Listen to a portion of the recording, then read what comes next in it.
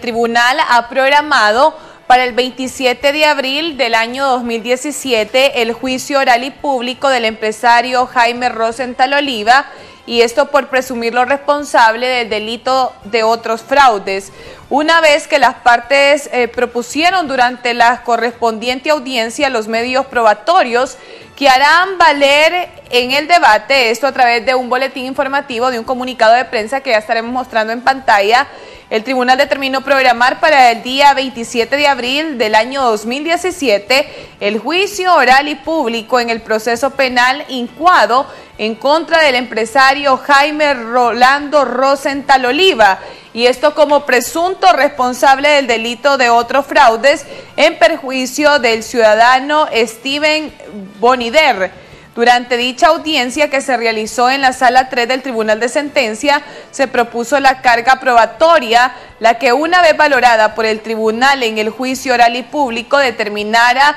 la responsabilidad penal de Rosenthal Oliva o en su defecto su inocencia por el delito imputado por el ente acusador del Estado. Los hechos se refieren que la familia Bonider Colindres tomó la decisión de adquirir una vivienda en la inmobiliaria Vía Santa Elena, cuya actividad económica es la construcción, por lo que luego de ver los proyectos habitacionales decidieron comprar a la inmobiliaria antes mencionada dos lotes de terreno por la cantidad de 2.044.770 con 20 centavos.